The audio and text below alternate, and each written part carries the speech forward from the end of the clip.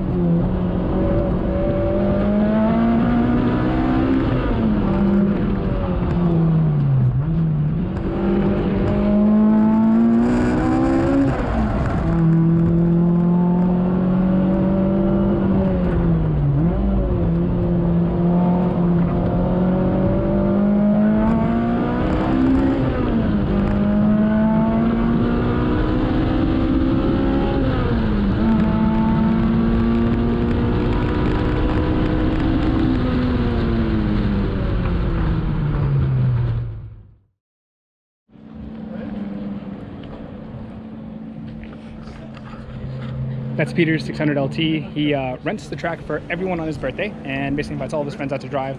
Uh, one of the coolest guys I've ever met and very fast. Uh, a gentleman that I've coached for a while now.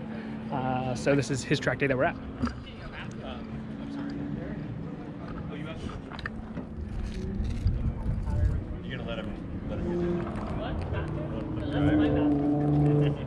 Hey, we Sorry.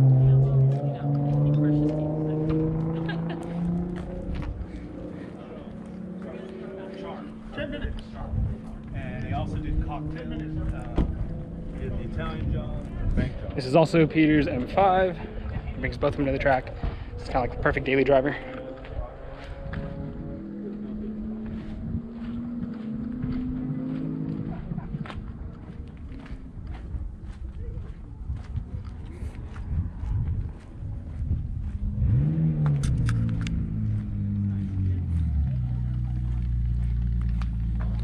I'm sure she's thirsty. it's ethanol, right? No, not. I'm around 91. Oh, really? Yeah. Yeah, if you were to switch this thing to E85, you need to bring twice as many. I know. That's, I, well, I want to, but that's what I'm afraid of. yeah. It's like you can never bring enough fuel.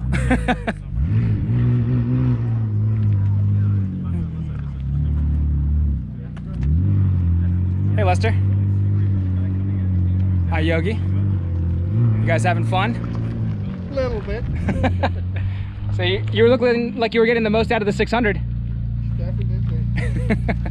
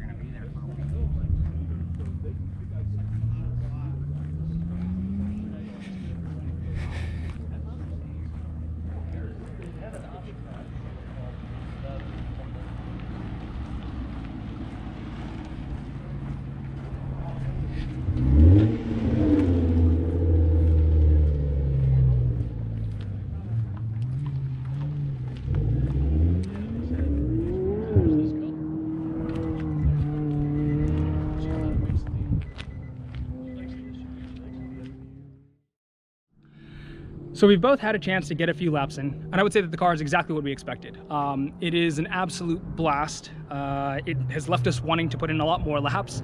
Uh, if it weren't for the fact that we basically got the car yesterday and have not even looked at it, we would do a ton more. But we both probably did about five, six laps each, just enough to kind of get the feel for it and to quickly figure out what its strengths and weaknesses were. Uh, some of the strengths, the steering is excellent. Uh, it's a ton of fun to drive. It's a momentum car, which means that it's just an enjoyable experience overall throughout the entire lap. You really have to work for the lap time. Uh, and I would say how light it is, you really do feel it. Some of the weaknesses, the shifter, first and foremost, and the transmission, uh, both are terrible. Uh, the shifter will be an easy fix. Uh, probably just replace it with an aftermarket shifter, and uh, that should solve the vagueness. You know, you shift, and sometimes third is here, sometimes third's here. You put it in gear, and it moves around kind of everywhere. Uh, incredibly loose and does not feel good whatsoever.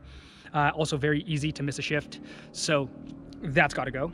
And then the second thing was the brakes. Uh, as expected, bringing a car from some private party random person that has doesn't really track it and then taking it out on track, the brakes essentially didn't brake. Uh, they either locked or didn't really want to stop. So we drove the car rather conservatively because of that. Luckily, that's an easy fix. We're going to put on some WinMax W5s, and that'll give us the brake friction we need, and also the modulation, which is big on these cars. So uh, you don't want to break the, a brake pad that's just going to instantly lock it up. The WinMax uh, pads are really good for that. We run a W4 on Mui's car, which is a question I get all the time, and that transformed the modulation. So this one we'll try W5. If it's too much, we'll go to a W4. Um, and then obviously change fluid and most likely lines if it doesn't already have stainless lines. I haven't had a chance to go through the car. Uh, and most importantly, put it up, make sure that it's safe, uh, give it a once over, nut and bolt everything. The car felt good, solid. It made the drive back from Vegas pretty easily, so we expected it to be fine. But we don't want to put too many laps until we do all of that and then also replace the oil pan. So oddly enough, the 1ZZ that comes in the MRS has a baffled pan. The 2ZZ, which comes in the Celica and the Lotus, uh, does not have a baffled pan. So oil starvation is fairly common in them, and I've known a couple of guys that have blown them up because of that. So we didn't want to risk it put in a few laps at Streets of Willow, have some fun, see what we need to fix, get that fixed, and then return with uh, a much better platform. So I think the lap ended up with like a 129.0, which uh, isn't surprising. It is slow, uh, but we really weren't pushing it too hard because of the brakes. The tires were garbage, and it was like 95 degrees. So of course I have to have my excuses, uh, but when we come back, it's gonna be a lot faster, fix all of those issues, get a nice morning lap and see what it can do. I'm really excited because I think with uh, a bit of work, this thing can be really quick uh, around a racetrack. It is slow in a straight line. So I guess, yeah, that's one weakness I didn't mention. It's terribly slow. Uh, the horsepower, I think, is like 170, 180, something like that from the factory. And you can tell in a straight line, it's definitely slower than Mui ZK. Uh, probably faster than a Miata, obviously, but uh, nothing impressive. So get all those things sorted out and bring it back and then really start to get a, I'd say a stage one, phase one baseline of what it can do and go a little faster. So ton of fun. If you're thinking about getting one, I'd recommend it. Uh, I'm super happy to have it. And it definitely uh, is, it scratched the itch that we were having for a car that, you know, in this, uh, to fill this void. So excited and looking forward to uh, what the future holds for it. And uh, because I've gotten the question quite a few times, what's going on with the NSX? It is back from the body shop. It's getting ready for the next round of testing, and that thing will be ready for GTA finals in no time.